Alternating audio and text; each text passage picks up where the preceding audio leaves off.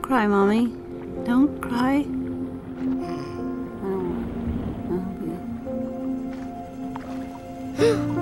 Dory. Dory? Dory? It's the middle of the night.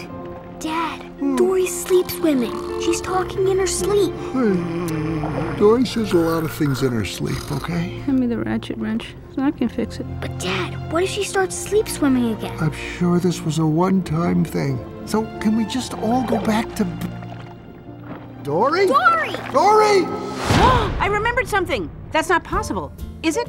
Okay, is it like a picture in your head and then you think I've seen this before? I just used the word before, which means I, I'm remembering something. What was I talking about? Somewhere. My family! They're out there somewhere. I have to find them.